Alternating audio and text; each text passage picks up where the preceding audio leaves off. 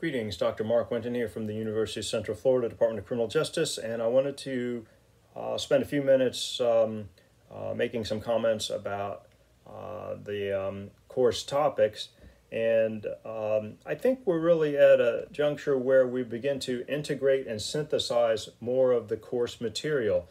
That we're, it, it's difficult for me at least to have these specific topics without integrating them with other topics. So if I'm discussing, for example, suicide um, bombings, gender becomes of interest to me as well, but also whether it's religious based groups or non religious based groups. And so there's all kinds of factors that start coming together, and I think that's what we're, we're seeing.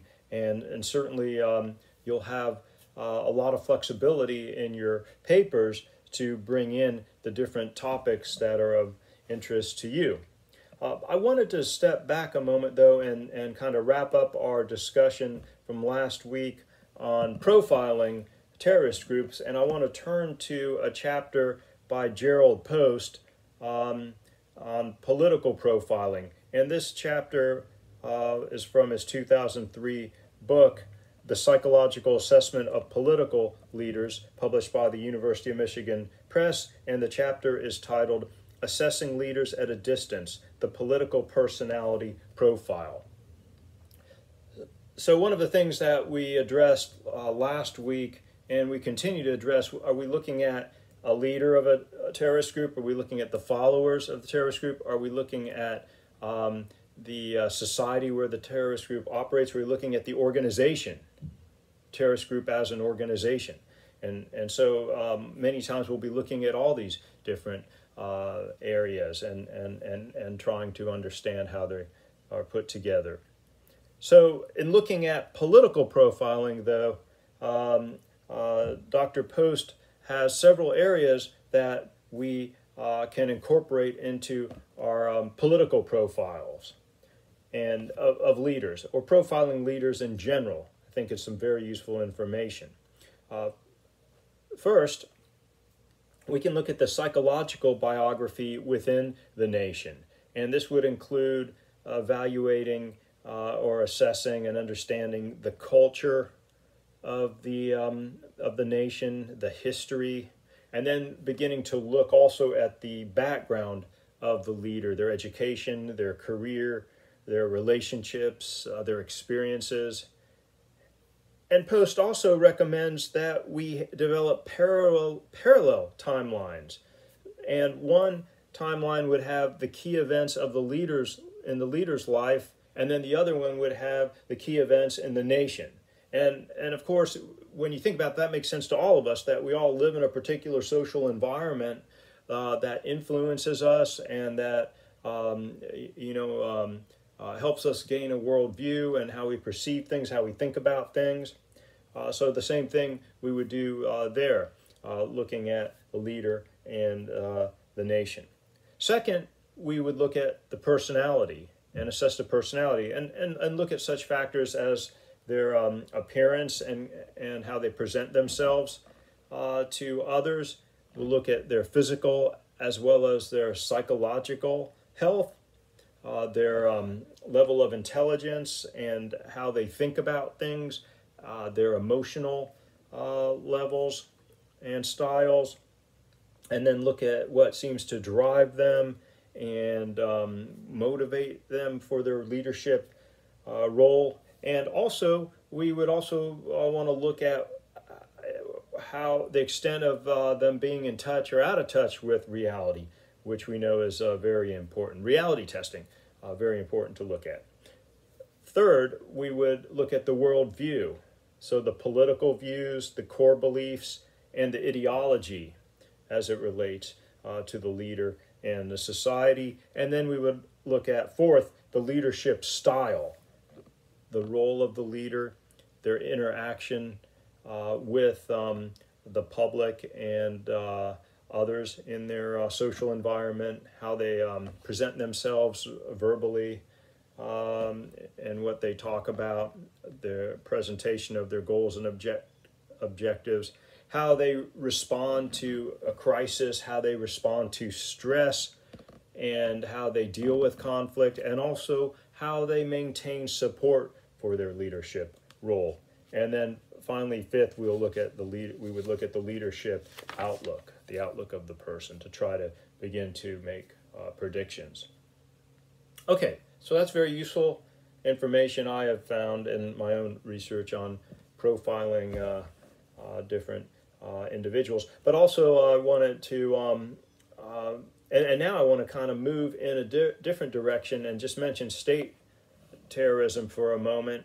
And again, I think state terrorism could fit anywhere in our class. It's kind of difficult to think, well, do you put it here, put it there, and or even state state sponsored um, uh, terrorism, for example. You know, I had to go to the State Department and see which countries were on the list, and then of course you can look historically what ones have been on the list, and and and that that of course um, is is a helpful place to start. But also we can look at other countries that are not necessarily or haven't been a threat uh, to the United States, where this course um, is is taking place, um, would not be considered, uh, you know, may not be looked at uh, in the same way as uh, it would be from those that are being victimized by the state in that particular location. Um, and so you may find some debate. I guess what I'm saying is you may find some, some debate on on what is state-sponsored terrorism or which states are engaging, which countries are engaging in um, uh, state-sponsored terrorism, or is actually a terroristic state and is, is not just sponsoring terrorism, but is actually carrying out uh, terrorist acts. Well, one of the things I'll mention real briefly is a book I use in my human rights course, Human Rights and Wrong, Slavery, Terror, and Genocide by Dr. Helen Fein. I use this book in the human rights course, but I think I could easily have used it in this course. I could have easily used it in my genocide course. And, and so again, you know, in the beginning, I kind of mentioned similarities and differences between genocides and between terrorism and um, some of the debates that occur. There are a lot of people probably that study genocide don't focus so much on terrorism and vice versa. And um, but then you have some that are like me and are totally confused, trying to figure out what's terrorism, what's genocide, how do they interact, how, how are they different, and also I see in my own uh, research terrorism occurring before, during, and after genocides. And, and so um, uh, Dr. Fein's work was very helpful in, in, in those terms because she had, and, and two chapters I thought were of interest to what I just mentioned, and that is um, she, she has uh, chapter four, which is uh, titled States of Terror in the Late 20th Century, Algeria and Argentina. And then chapter 5 is titled States of Terror Turned to Genocide, Guatemala and Iraq. That chapter title, for me, says it all. States of Terror Turn to Genocide, Guatemala and Iraq. I can tell you in my genocide uh, courses, I do not um, cover Algeria or Argentina. But I've had students before uh, write about the uh, Argentinian, uh, you know, that case study there. Um, but I do include in my genocide courses Guatemala and Iraq as genocides. So I think that is, is somewhat helpful as we begin to see that there's going to be different views on how we understand state uh, terrorism and also the, the variations with uh, genocide, ethnic cleansing, democide, terrorism, um, and, and so on. And that brings me to um, the, the um, article that I have linked, um, one of my own publications, Violentization Theory and Genocide, and that appears in, appeared in 2011 in Homicide Studies, issue, um, I'm sorry, volume 15, issue 4, page 363 to 381. And um, even though it's called violentization theory and genocide, it's really about applying Lonnie Athens' violentization theory to the Bosnian and the Rwandan genocides. And, and so um, I posted that because I wanted to present violentization theory first, and, and secondly, I wanted to focus on a comparative analysis And here I'm comparing the Bosnian genocide to the Rwandan genocide. So I'm looking at a more macro level, really. But also, I wanted to mention that I have other articles that um, uh, published that focus on uh, individual perpetrators within uh, genocides. And so my research now has taken me using um, Lonnie Athens' violentization theory and comparing and contrasting genocide perpetrators, terrorists, and serial murders and mass shooters. You know, putting all that together, uh, theoretically looking at differences and similarities and, and how um, this might be a useful uh, prevention tool, an assessment tool, uh, and trying to understand where we're at or where we're moving to. Uh, how and, and, and so there's a lot of I think um, um, useful policy implications with Lonnie Athens violentisation theory.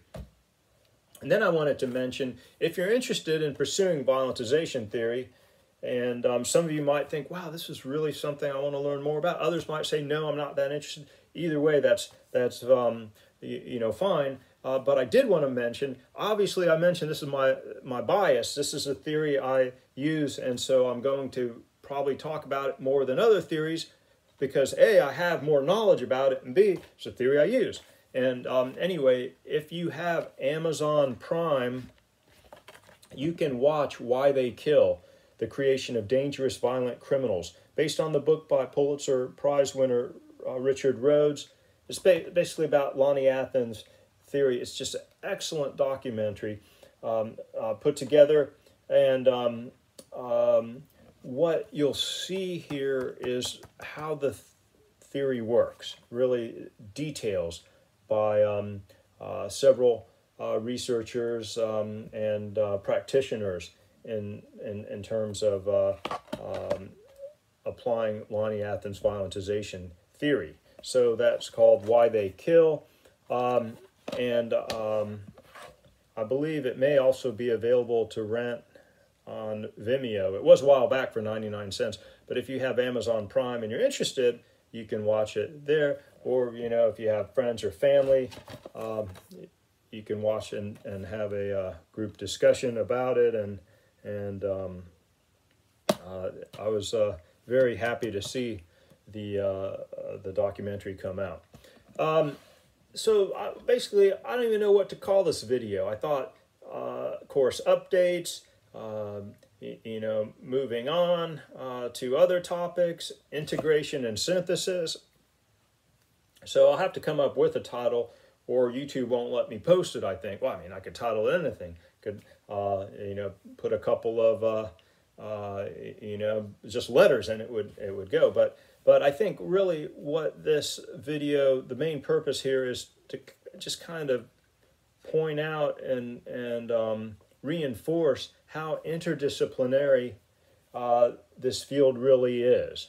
And, um, and so some of you may be, have an interest more removed from the areas I'm covering, which is fine. You, you can write about, if you want to write about counterterrorism, that's fine. I'm going to cover that a little bit, uh, but not as much as if you took a course on counterterrorism, which of course uh, you'll find at any large university. Um, but, um, uh, you know, security-based courses. Eh, but, um, you, you know, the whole thing is, do these theories apply to counterterrorism? Do the profiling strategies and techniques apply to counterterrorism? And, and, and so if that's your interest, by all means, um, you know, please feel free to pursue that. And, and so um, that, I think, is, is really uh, where we're, we're moving. We're, we're really starting to put all the pieces uh, together. And um, this wraps up this video. Thank you.